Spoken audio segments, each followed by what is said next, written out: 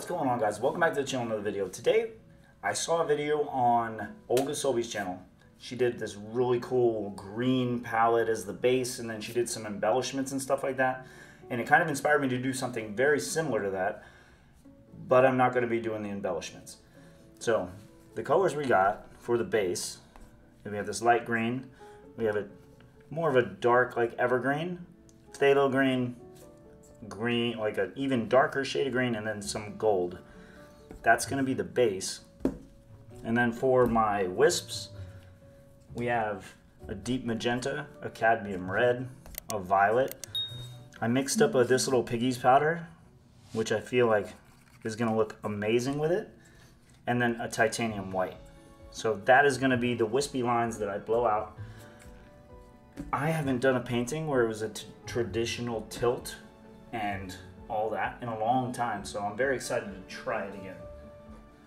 So first thing we're gonna do, we're gonna take our greens, we're gonna layer them out, and we're gonna have our conversation like we always do. How is everybody doing this wonderful day? It's a glorious day in Detroit. It's pretty nice, pretty sunny outside. All right.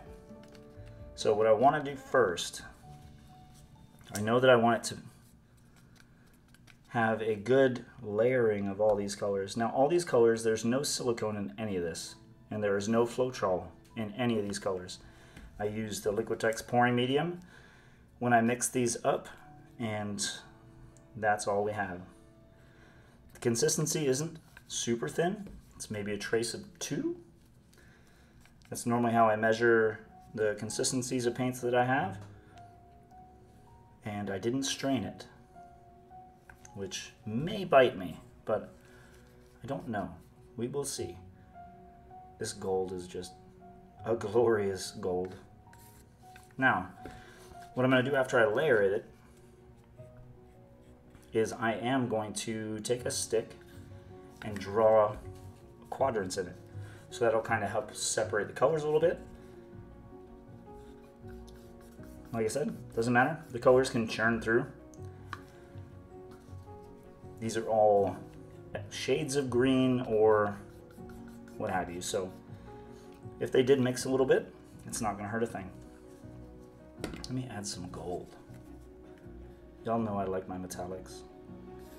And this gold is a brilliant gold. Let me grab this so you can see which one. It's this DecoArt uh, Americana Metallics. And it's 24 karat Dorado gold.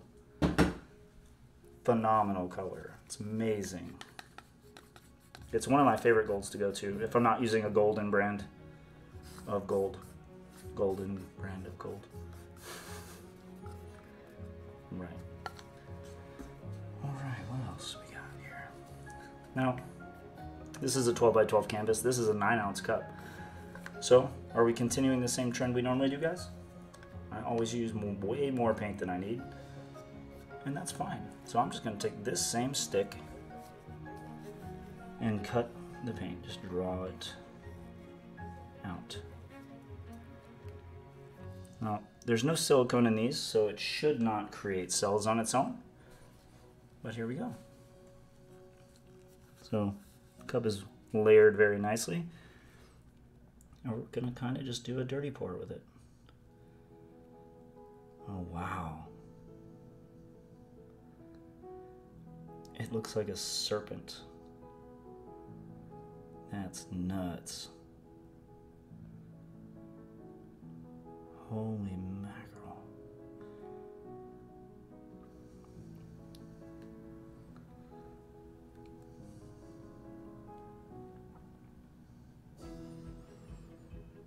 These colors together are amazing, so I am going to try to use as much of this as I can. Like I said, it's 12 by 12 which actually this is not a 12 by 12. I might have lied to you guys. I'm pretty sure this is a 14 by 14. But 9 ounces of paint should still be far more than enough. Look at that cut. Just like the swirls in it. Mmm, gorgeous. Now we're gonna spread this paint along the surface. I don't need a base coat because I'm not using any silicone. I am seeing some cell-like parts of it open up, which is interesting. This part right here looks like scales, like snakeskin. That's really wicked. All right, let me turn it a little bit. So yeah, trace of two. It's gonna take me a little while to stretch this out to the point where I get enough coverage on the canvas. But yeah, like this thing looks crazy wicked right now.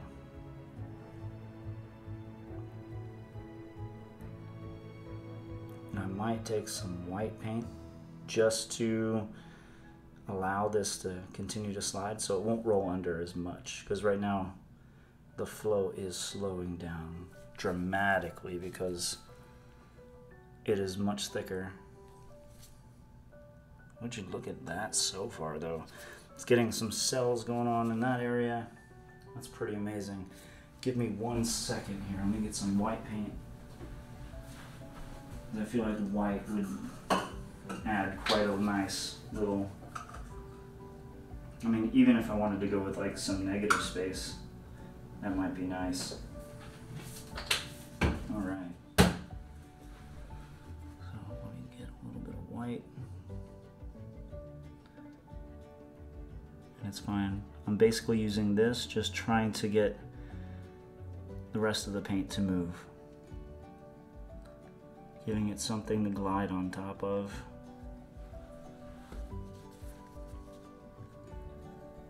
Ideally, I would like to pour all this off, but we'll see. It might just end up being a nice amount of negative space. Mm-hmm. That looks amazing so far. So I'm seeing like snake skin, some kind of dragon scales, something like that. Some of this looks a lot like scales what is everybody else seeing? I would be curious to know in the comments. Alright, so we got there. Let's get some white here. So if you've ever noticed, the paint doesn't want to flow over dry spots, so it behaves a lot like resin in that way. If you have dry areas, the paint doesn't like moving across that. So we try to just get it a little bit, just enough to where the paint can just flow. That's gorgeous though. Even if I wanted to leave that just a little bit of negative space, I feel like it would it would work. So I'm taking the bulk of the paint, right? And letting it shift down towards that corner without disturbing too much of what's going on here. There we go. See how it's sliding freely now? And now I can bring it back to the center. This thing looks wicked. So this might have been the one rare time, y'all, where I did not use too much paint. So mark that on the calendars, because that's new for me, especially. So we're just letting it, letting the paint flow to the other corner. And it's still, it's stretching and opening up all these little details. The white that I used is considerably thinner than the greens and the gold. So it it's almost as if that green and gold is flowing over top.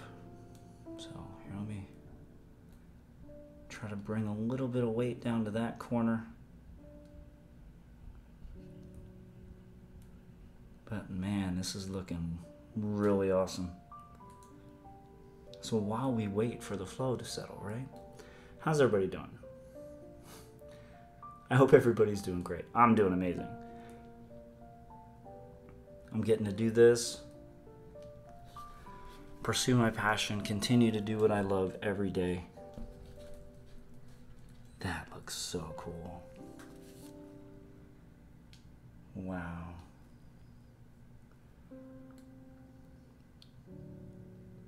I can't wait to like lay this thing down so you guys can just see all the subtle little details in this. Because almost, the gold almost did create some cells, which is interesting. I do have metallics that behave that way sometimes, but they don't always create cells. But this is just creating like a magic on the canvas right now. And I love it. This is so cool. Alright, so it's starting to flow all the way to the corner. And then we stop, right?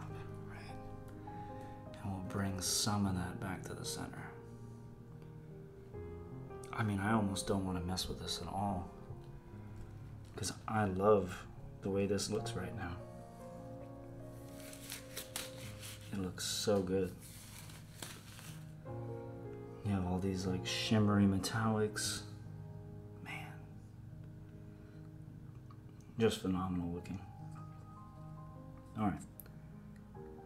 So I am going to still do my little line. I think I want it to kind of follow this area right here. So I'm not going to use too much of this paint, but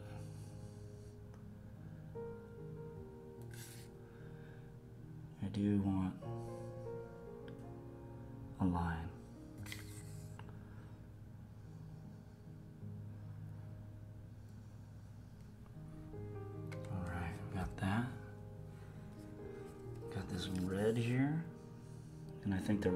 The white will do some really spectacular things.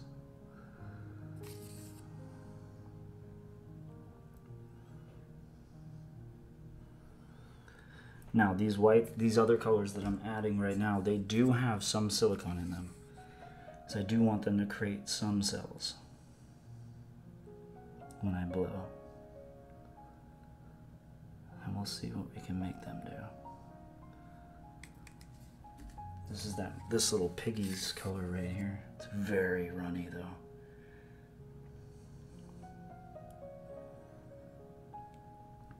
Alright, let me get a little bit more on there. I'm so happy to bring you guys along on this. Some of y'all call me the Bob Ross of acrylic pouring. I don't know if it's my voice or that I'm trying to be positive and upbeat, but Bob Ross was absolutely a legend. And I am flattered that some of you would say that. Mm-hmm. All right. Let's do this. I don't think we need to add any more white to it. And I'm gonna try to not get my big old head in the way. Let's see. Do I want to add anything else to it before I before I blow? I feel like my head's gonna get in the way, but we'll see. All right, let me see.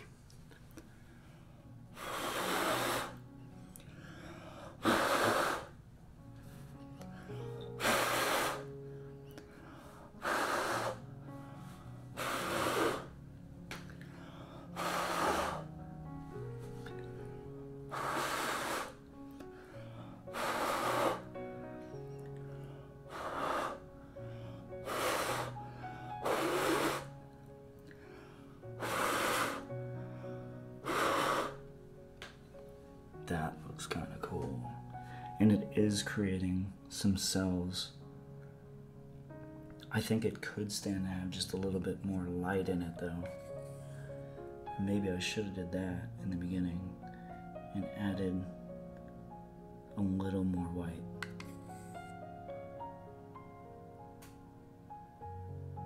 But it has a very like organic look to it and then that silicone is really seriously interacting with the rest of the colors. Like on this side, you can't even see the white. So, there we go. And then we're gonna.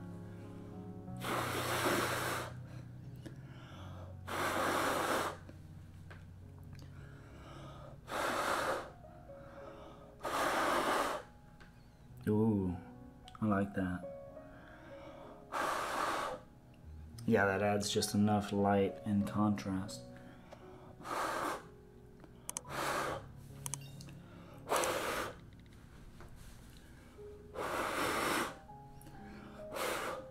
Hmm. That's beautiful. Let me take my heat gun to it now. I may or may not have introduced some bubbles to it, so this will help pop those bubbles and help that silicone maybe react just a slight bit more.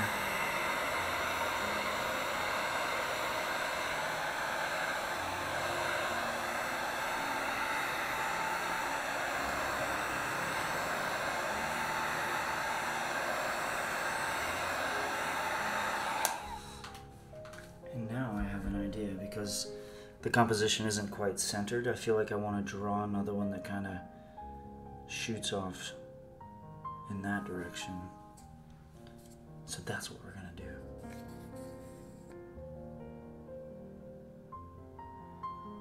Yeah, just very organic. Nice curves. I'll put a little bit of red on top of there. Glorious Pyrrole red from Golden. And we have that this little piggy's mica powder for even more of a metallic shimmer to it. This violet. Beautiful colors. And then this deep magenta on top. And then we've learned already from the other one that we want to add a little more white to the top.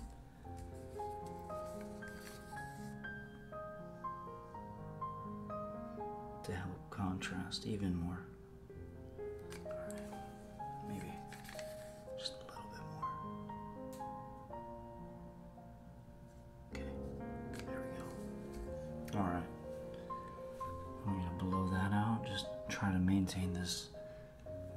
Flow. And as you can see, like the cells in this are still opening up everywhere.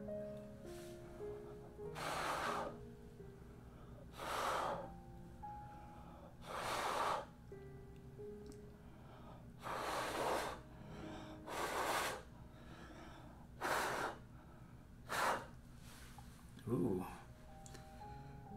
Yeah, that is mm, beautiful. Same thing as the other one. I want to help some of that silicone react. Look at those cells just exploding. That's awesome. Now I'm going to go over the whole thing. Any bubbles, I want to make sure I get rid of any of those surface bubbles.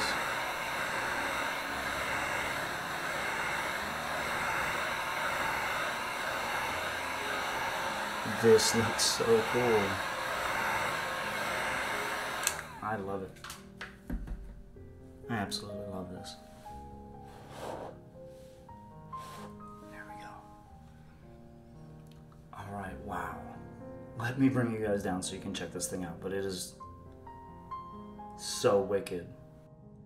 Let's look at the shimmer from that gold. And then the red and the violets, magentas made this really awesome little organic looking structure in it.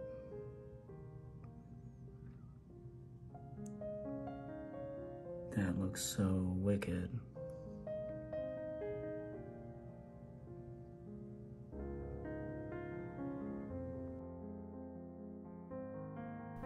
If you want to watch another video just like this, click the screen right now and I'll see you there.